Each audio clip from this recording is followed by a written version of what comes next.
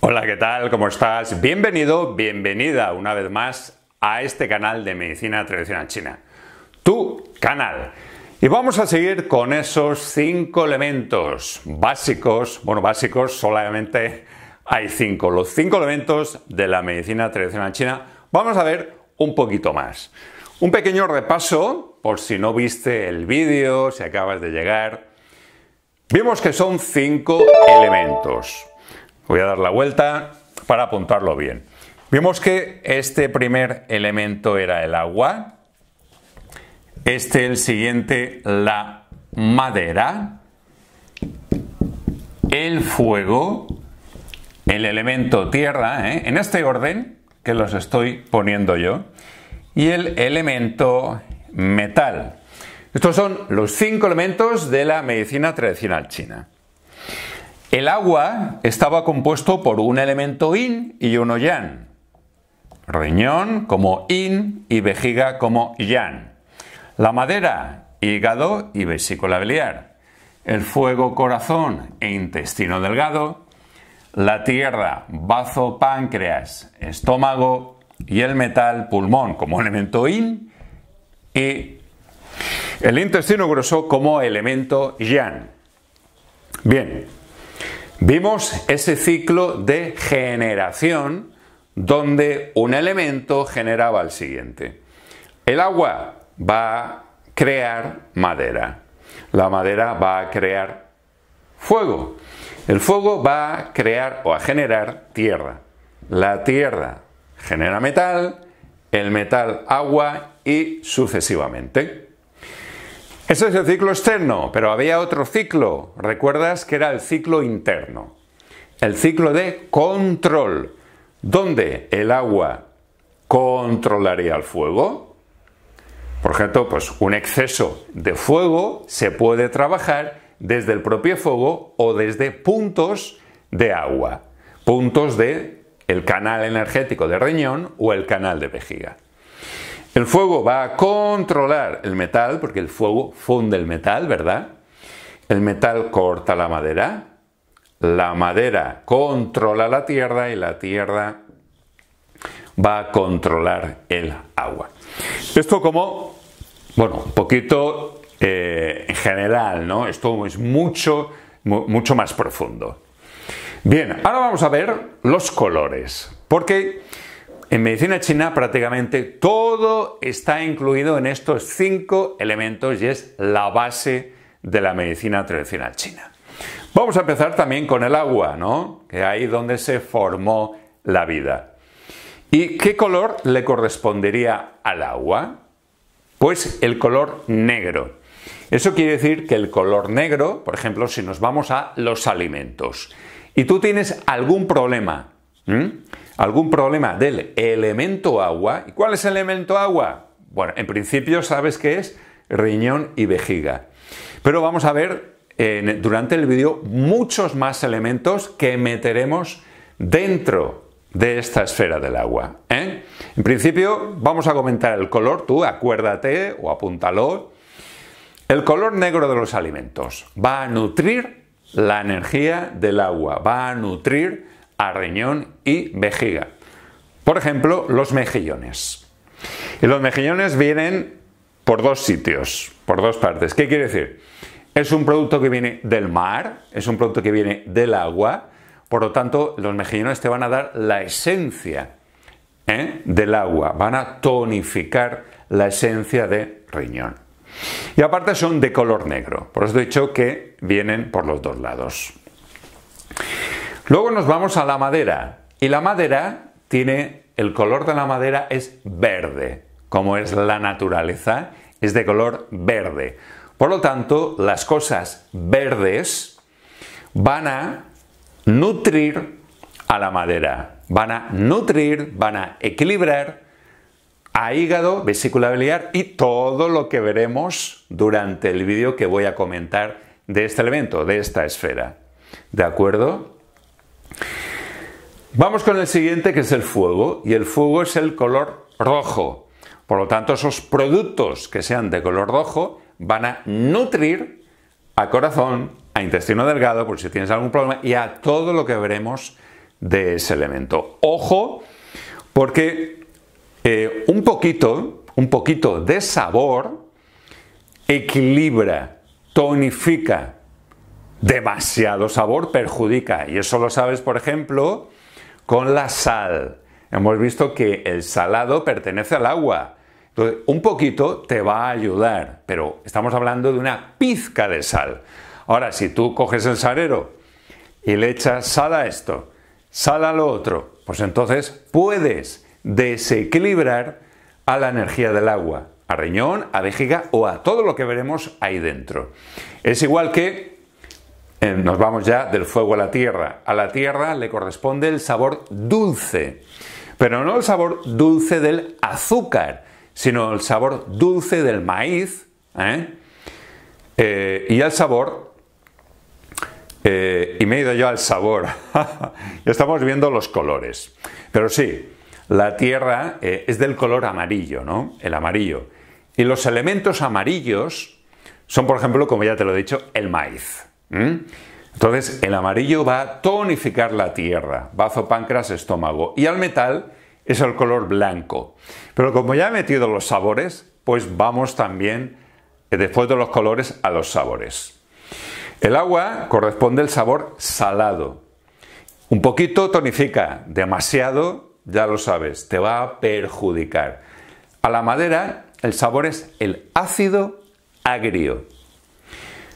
Que si tienes algún problema tienes que incorporarlo a la dieta, pero un poco, no te pases. El fuego es el sabor amargo, la tierra, ya te lo he dicho antes, es el dulce, pero el dulce del maíz, el dulce de la calabaza, no el azúcar. El azúcar ya sería un sabor dulce muy exagerado, elaborado, procesado, entonces desequilibraría a este elemento. Y nos movemos, por lo menos en esta sociedad, nos movemos en una cultura de dulce y salado. Pero ¿qué pasa con el ácido agrio? ¿Qué pasa con el picante? ¿Qué pasa con el amargo? ¿Eh? Y el metal ¿eh? sería el picante. Bien, si nos vamos a los órganos, o los órganos son estos, pero vamos a ver algunas partes del cuerpo o algunos sistemas. Vamos a incluir más cosas dentro de cada, elemento. Ya tienes para trabajar o para sanarte, ya tienes el color y ya tienes el sabor. Por lo tanto, te pongo un ejemplo del agua. Si tienes problemas de riñón, si tienes problemas de vejiga, Problemas de vejiga puede ser una cistitis. ¿Eh? Problemas de riñón puede ser una insuficiencia renal, piedras en el riñón. Bien, ya sabes que puedes tomar el color negro y sabor salado, un poco. Vale, ¿qué más partes del cuerpo podemos meter en este elemento agua? Pues por ejemplo el oído. ¿Tienes problemas también de oído? porque el oído también es elemento agua. Negro, color negro, salado. También podemos meter ahí los huesos. ¿Tienes problemas de huesos? Pues los huesos pertenecen al elemento agua. Ya sabes, color negro, sabor salado. ¿Qué pasa si nos vamos a las emociones? Porque las emociones, evidentemente, aunque tú te alimentes bien, hagas deporte, meditación, las emociones también van a influir en ti y al contrario. ¿Qué quiere decir esto? Al agua pertenece el sentido de la responsabilidad. El que una persona sea responsable de lo que hace y responsable de su vida. Si yo tengo equilibrado riñón y vejiga, es decir, el elemento agua, voy a ser una persona responsable. Si no lo tengo eh, equilibrado, puedo irme a un lado o al otro. ¿Qué quiere decir? Que puedo ser muy hiper responsable y puedo ser puedo ser muy irresponsable. Pero también va la inversa. ¿Y qué quiere decir? Quiere decir que si por mi trabajo, eh, por mis funciones, por lo que yo haga, soy o eh, mi trabajo requiere mucha responsabilidad, ahí ya estoy, gastando energía. Por lo tanto, puedo desequilibrar a este reino mutante o a este elemento. ¿De acuerdo? La voluntad también depende del agua. El pelo, pelo de la cabeza, también depende del agua. Ojo, si es genético, es otra cosa. ¿eh? Y la energía también, la energía también te la da el elemento agua. ¿Cómo habría que trabajar? Vuelvo a repetirte, en este caso, color negro, sabor salado y para eso tenemos el canal energético de, de riñón, tenemos 27 puntos para trabajar y tenemos el canal energético de vejiga, el más largo del cuerpo con 67 posibilidades, es decir, hay 67 puntos. ¿eh? ¿Qué puntos? En el Mi Canal puedes buscar dentro de la lupa tratamientos para lo que tú quieras. Vamos a seguir. El agua genera la madera. Madera, hígado, vesícula biliar, hemos visto el color verde, hemos visto el sabor ácido agrio. ¿Qué más? Vamos a incluir dentro de ese elemento, por ejemplo, las uñas. Las uñas, para la medicina china o para la tradición, pertenecerían al elemento madera. Las uñas, tendones, ligamentos, musculatura, eso pertenece al elemento madera. La emoción sería la decisión. Eh, bueno, se me ha olvidado también incluir dentro del elemento agua el miedo. ¿eh? El miedo. Seguimos con la madera. La decisión. Si yo tengo una buena madera, voy a ser una persona que va a tomar decisiones. Si mi madera está desequilibrada, voy a ser una persona que siempre está en duda. La madera, bien aspectada, bien equilibrada, también me va a dar la capacidad de creatividad, de crear cosas, el movimiento también. Si está desequilibrada, voy a, puedo entrar en ira, puedo tener rabia.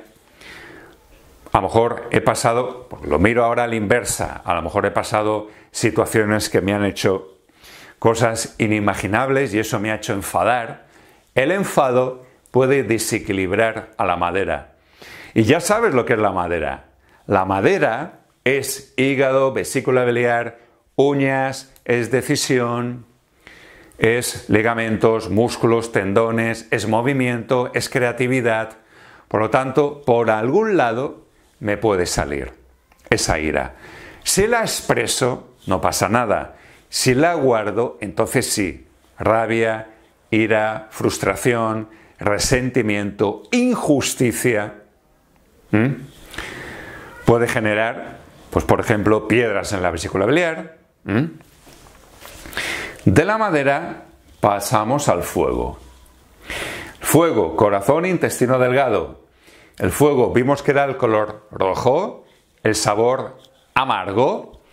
El fuego también es la sangre, la circulación de la sangre, todo el sistema arterial. El fuego también es la alegría. Una persona tiene que ser alegre, pero no demasiado. Demasiado eh, sería decir reírse por todo. Eso tampoco, es una alegría exagerada que la persona se ríe cuando no se tiene que reír, se ríe por todo. Eso ya es patológico. El hablar, el comunicar, el expresar, también entraría dentro del elemento fuego. Pero no el hablar demasiado, esa verborrea, hablar por hablar. Eso ya sería patológico. El compartir, ¿eh? El buen humor, todo esto pertenecería al fuego. Y una persona que está triste puede desequilibrar este elemento. O está triste porque tiene un desequilibrio en este elemento. Luego pasamos del fuego a la tierra. Bazo, páncreas, estómago. La tierra con su color amarillo, con su sabor dulce, la tierra también habla de la carne. la carne que tiene que ser eh, consistente, no me sale la palabra, pero no una piel que se cae, no una piel eh, flácida, de eso se encarga, de esa consistencia, de ese tono, se encargaría este elemento de la tierra.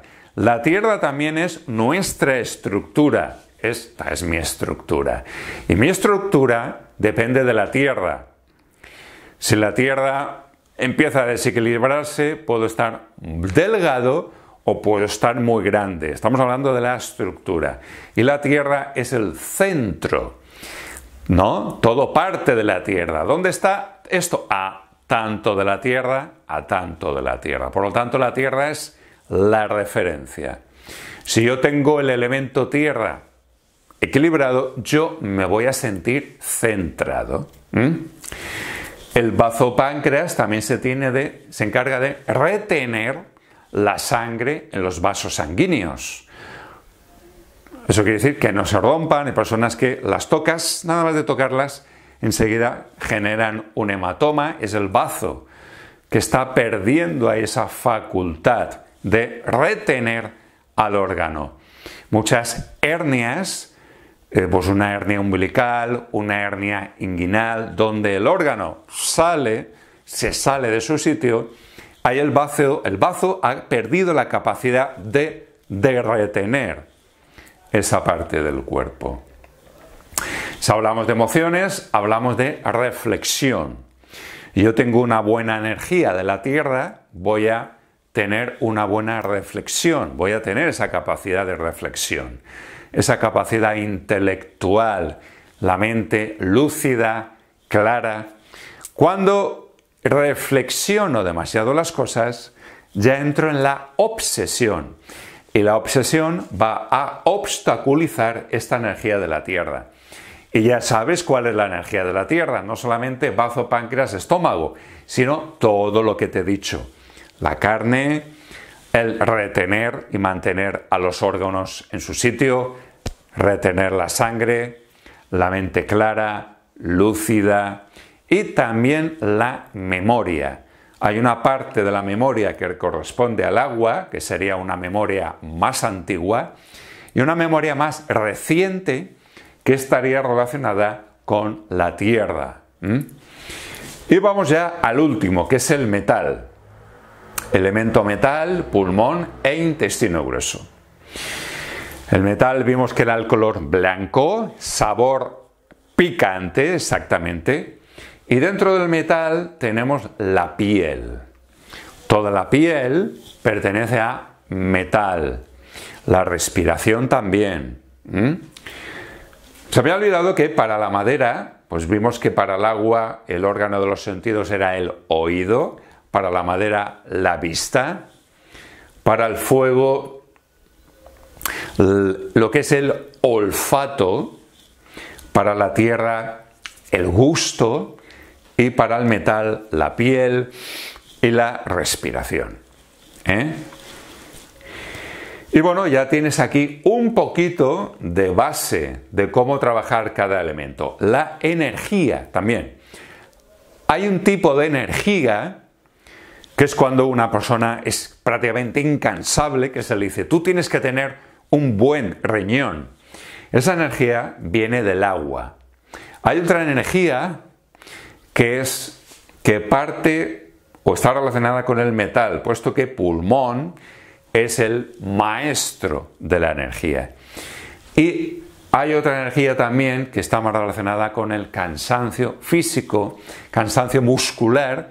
Vimos que los músculos eran de la madera, por lo tanto esa energía pertenecería a la madera.